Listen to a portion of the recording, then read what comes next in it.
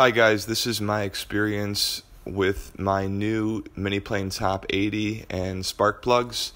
I'm just trying to show you what extremes to avoid so you don't make the same mistakes that I did.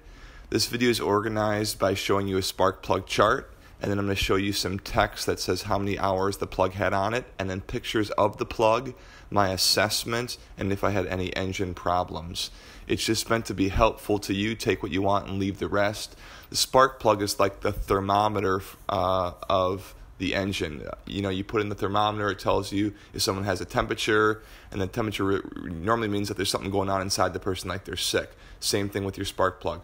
Too hot or too cold, too lean or too rich. Uh, says that something's not working quite right in your engine, which probably means that you're going to have engine problems. So, good luck to you and hope this is useful.